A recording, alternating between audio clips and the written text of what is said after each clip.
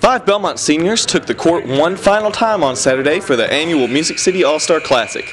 Shane Dansby, Matthew Dotson, Henry Harris, Andy Wicke, and Atlantic Sun Player of the Year Alex Renfroe played aside and against college basketball standouts from around the state. Before the main event, the seniors competed in a three-point contest. Dansby and Dotson both made it to the final round, but Dotson coolly coasted to victory. It was pretty nice. Uh, it was fun. No pressure really, so.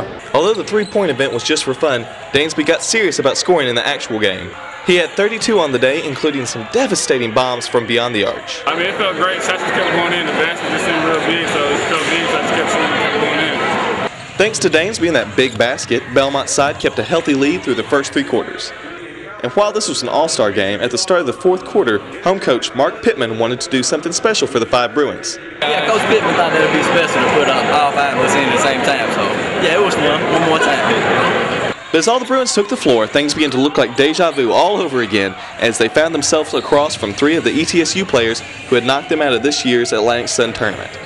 This time, things were a little less tense. It's interesting playing against those guys. You know, they talking the whole time, we talking the whole time, just having a lot of fun. In the end, Belmont's team couldn't overcome the onslaught of ETSU's Kevin Tiggs, and they lost by two, 122-124. I feel good, man. It was just it was about having fun. I, I mean, I, of course, I wanted to win, win, being a competitor, but it really, really wasn't that big a deal. Uh, it, was, it, was, good to play in the gym for uh, maybe the last time. I'm not sure. I mean, if, if I ever get a chance to play again, maybe I don't know some kind of way in the future. I don't know, but uh, it was good to play again in here for the last time. Each senior was passionate about what he would miss the most here at the Curb and at Belmont.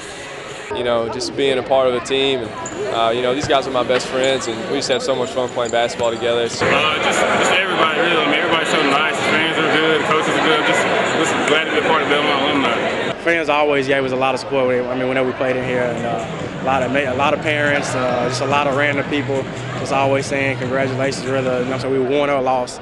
Uh, you know, guys on the team coaches, the fans that are here. You know, we got great fans, and uh, you know, it's just gonna it's not gonna be it's, gonna be tough not seeing them and, and hanging out with them. But uh, I, I, mean, that's what I'm gonna remember most from Belmont was the people around the basketball program. And you know, just just the crowd, man. Just being here, knowing it's my home.